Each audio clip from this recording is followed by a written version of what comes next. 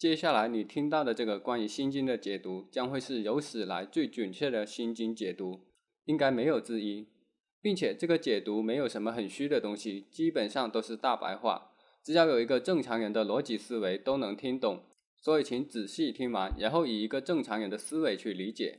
为什么敢说这个心经解读是史上最准确的心经解读？因为这个解读综合了以下多个方面进行解读：一、佛教的禅修之道，因为佛教的核心在修行，而这个修行指的其实就是禅修。二、大脑意识的结构和运行原理，佛教中的修行修的就是心，而这个心指的并不是心脏，而是人的意识。对意识的理解，能够让你真正的去了解佛教的理论经典，并指导你的修行。三。佛教经典内容的音译和意义的准确理解，这个是必须的。如果你对佛教经典中的一些关键字的意思都不理解的话，当然无法看懂心经。四、常识和逻辑。其实，真正的佛教理论经典都是建立在严谨的常识和逻辑上的。不过，大多数人没有能真正的看明白，只能将它神秘化、哲学化，然后云里雾里的忽悠一通。接下来，我们将正式的解读心经。首先，开头第一句“观自在菩萨”，观指的是关照、觉知。那么，这个关照和觉知是什么意思呢？举个例子，我的手感觉有点痒，我把我的注意力转移到手上痒的这个感觉上，最大程度的去感受这个痒，这就是关照。自在，什么是自在？不受约束，不受控制，这就是自在。当我们在关照那个痒的感受的时候，会觉得好痒、好难受，忍不住去挠它。这个时候想要去挠的心理和去挠的这个动作，其实就是受到痒的感受的影响。我们被痒的这个感受控制了，所以这个状态是不自在的。真正的自在，指的是你关照痒的这个感受的时候，感受就只是感受，并不会受到它的影响，这就是自在。观自在的意思是你关照内心的某个目标对象，可以是念头、情绪或是别的感受，但是你只是关照觉知它，不去评判它，也不要受到它的影响，在整个过程中保持平等心。说到这，有些有禅修冥想经验的人可能就会说：“咦，你这个说的不就是禅修和冥想的技巧吗？”对的，我说的就是这个意思。这其实就是佛教修行的关键所在。但是很多喜欢去看各种或真或假的佛经理论，而没有任何实修经验的人，可能不太好理解；而有实修经验的人则会感同身受，因为我说的正是他们所经历的。菩萨，菩萨的意思是觉有情，这个词可能很多人听起来有点懵，感觉挺陌生的，但其实它很形象，很好理解。觉指的是觉醒、解脱，也就是佛教中所追求的最高目标境界。那么有情指的是什么意思呢？如果你对佛教有一定了解的话，可能经常会看到这么一句话：“一切有情众生什么什么的。”这个有情指的就是有情众生的简称，而有情众生指的是没有达到解脱境界的人，比如我以及正在看这个视频的观众。有人可能会觉得这个觉有情看起来好像跟菩萨不太搭边，其实不然，菩萨是干什么的？菩萨是普度众生的，这个度的方法就是将你引向佛教的修行之道，引导你走向觉醒解脱。我们常说什么观音菩萨、文殊菩萨，这个菩萨并不是某个人的名字或者姓氏，它其实是一种职业的称呼，就跟我们称呼某某老师一样。老师是教书育人，菩萨则是传法度人。不过菩萨并不是什么人都能当的，当个老师还要考个教师资格证。菩萨自然不是随随便便都能当的，要当菩萨，自身需要达到一定的境界，要么成为圆满解脱的阿罗汉，或者很接近这一个境界，不然的话，你自己都没解脱，你都没搞清楚这条路是怎么走的，你凭什么去渡人解脱？如果你自己都搞不清楚这条路的话，那你更有可能不是渡人，而是坑人。所以整句话“观自在菩萨”的意思是，以平等心关照内心。可使众生走向觉醒解脱之道，而对这句话，很多版本的解读都搞错了，解读成观世音菩萨，或者是解读成某个叫观自在菩萨的人，这些解读都是错误的，并且错得非常离谱。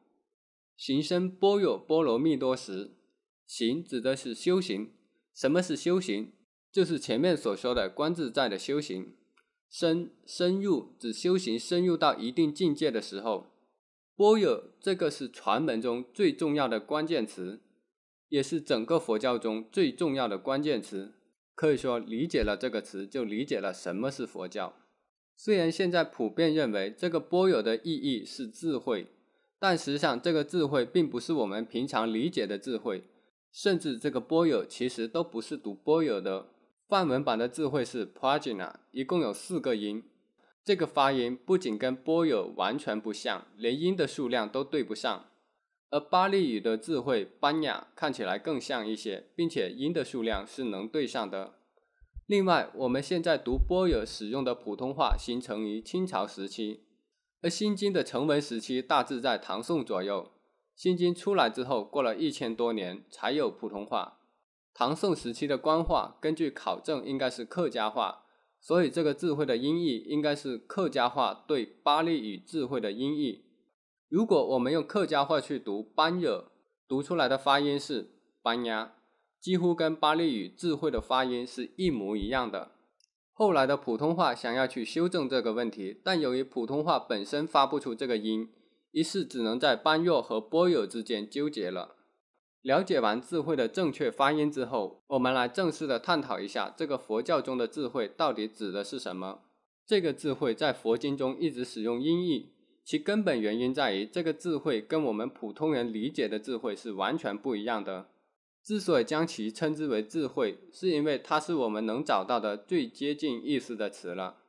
那么这个智慧到底是什么呢？指的是高智商吗？如果是的话，那我们现在一听到佛教，就跟听到门萨俱乐部的感觉是一样的。那佛教所谓的修行，不就成了提高智商的训练了吗？这么看的话，佛教对科学技术的发展应该有很强的推动力才对。显然不是，佛教的智慧与智商无关。那这个智慧是哲学的智慧吗？我们朝这个方向去看一下，就会发现，几乎所有搞哲学的人都是比较悲观的。如果你看到一个人非常乐观，问他干什么的，如果他跟你回答是搞哲学的，那他一定在骗你，他其实是搞笑的。有不少在哲学方面有很深造诣的人，甚至都疯掉或者自杀了。显然，佛教的智慧也不是哲学智慧。那么，佛教的智慧是科学的智慧吗？更不可能是。科学的诞生和发展才几百年，而佛教起源于两千五百年前，时间上都对不上。如果是的话，现在的诺贝尔奖获得者岂不都成了阿罗汉了？另外，好像科学界的人绝大多数都不是佛教徒，并且跟佛教也不熟。由此可见，佛教的智慧也不是什么科学的智慧。那么，佛教的智慧到底是什么？与智商无关，不是哲学，也不是科学。其实，你可以随意的发挥你的想象力，去想象这个智慧是什么。不过，我可以肯定的告诉你，只要你能想象得到，都不对。因为它不是任何一种思想学说，也不是任何知识上或者是概念上的东西。佛教的智慧其实是一种意识状态，这种意识状态普通人是很难理解的。只有当你真正的进入到那种意识状态，体验到了，你才能获得佛教所说的智慧。而想要达到那种状态，则需要通过修行才行。这个修行的方法就是佛法。所以，对于心经的理解，只能够让你了解佛法。并不能让你获得佛教所说的智慧。不过，智慧既然是一种意识状态，那么我们就可以通过对意识的理解来了解这个智慧是怎样的。但是，我们要到下一句话的解读再说，因为下一句话所说的还是智慧。暂时先讲完了智慧，我们要讲下一个关键字——波罗蜜，或者说是波罗蜜多。这个也是音译，你读作波罗蜜或者波罗蜜多都行。那么它的意思是什么呢？它的意思是属性或者说是特质，但又不是所有的特质都是波罗蜜。只有能够帮助你实现觉醒解脱的，才能够称为波罗蜜。比如，我们说一个人很流氓，这个流氓就是他的特质，但是却不能算作是波罗蜜，因为它无法让你实现解脱。佛教所说的波罗蜜是有特质的，主要有下面几个：布施，也称舍离。有舍离波罗蜜的人，经常会分享自己的东西给别人。忍辱，别人骂你，你不会产生嗔恨，想要去反击别人，甚至连气都不会生。持戒指的就是不破戒，精进能够努力的去修行，禅定指的是内心，也就是潜意识的清净和寂静。般若也就是我们刚刚所说的智慧，在这么多波罗蜜中，其中般若波罗蜜是最最重要的。当般若智慧达到一定程度时，其他的波罗蜜自然也就会有。所以整句话“行深般若波罗蜜多时”的意思是，当修行深入到能够拥有足够多的般若智慧时，照见五蕴皆空。照见指的是感受到、发现的意思。整句话最重要的关键字是五蕴。五蕴指的是色、受、想、行、识。也就是色蕴、受蕴、想蕴、识蕴，这个五蕴的本质是什么？它其实就是人类潜意识中的五大工作系统。首先讲色蕴，色蕴在五大工作系统中属于信息采集系统，有五个模块，分别是眼、耳、鼻、舌、身，以各种角度从外界采集信息，然后传递给大脑的意识。以眼睛为例，我们之所以能够看到事物，是因为在外部环境中存在光线，这些光线照射到物体的表面，发生漫反射，其中有一小部分漫反射的光进入到我们的眼睛，在眼睛的部分进行初步的处理后，生成原始的生物电信息，再传递回大脑的视觉处理模块进行处理，才形成真正的视觉信息。到这时候，这个视觉信息会有两个去向。一个是传递给显意识，也就是让你看到外界的某个东西；还有一个去向，就是这个视觉信息会被潜意识的其他模块处理，于是就涉及到了其他的另外四个运：受、想、行、识。我举一个很常见的例子：一个男孩子看到了一个很漂亮的女孩子在向他这边走来，一开始他通过色运看到了这个女孩子的视觉信息。接下来，时运在处理这个视觉信息，识别出这是一个非常漂亮的女孩子，再然后产生了非常喜欢的感受，也就是佛教所说的贪爱，这就是受运。产生了这些感受之后，想运就跟着起来了。这时候你就开始幻想，这么漂亮的女孩子，如果是我的女朋友多好，开始幻想着如何跟这个女孩子相识，成为男女朋友，以及后来的结婚。想着想着，你的口水不自觉地流了下来，这就是行运。大约两分钟后，他刚给他们的第二个孩子取好名字的时候，突然回过神来，那个女孩子好像走远了，于是下定决心克服内心的害羞和恐惧，勇敢地上去认识那个女孩子。这里面又是一轮的五运的运转。可惜的是，那个女孩子通过色运看到了男孩子流口水的样子，女孩子的时运把她识别成了一个流氓变态。对男孩产生了害怕的感受，进而产生了想要远离这个人的想法。所以，当男孩刚去搭讪时，女孩直接跑开了。在这场并不太美丽的邂逅中，两位主人公的内在心理活动和行为都是被五蕴所控制的，而我们所谓的自由意志其实并没有发挥什么作用，基本上已经被五蕴完全绑架了。讲到这里，我们就可以确定佛教所说的智慧是什么了。智慧指的是不受五蕴所影响，乃至让整个五蕴停止这种盲目的自动运转的能力。这两点有什么区别呢？早期的修行是要尝试着不受五蕴的影响和控制，而到了更高深的境界，目标就变成了完全的控制五蕴，让它停止这种盲目的自动运行。我们普通人，也就是佛教所说的凡夫，都是受五蕴所控制的。如果五蕴停止了自动运行，那又由谁来控制我们呢？这个时候，那个本我，也就是佛教所说的具有佛性的真我，将会接替五蕴来掌控我们的人生。觉醒是意识到真正的本我是谁，以及本我的回归。解脱指的是从五蕴的束缚中解脱出来。所以说，佛教的智慧压根不是什么知识概念上的东西。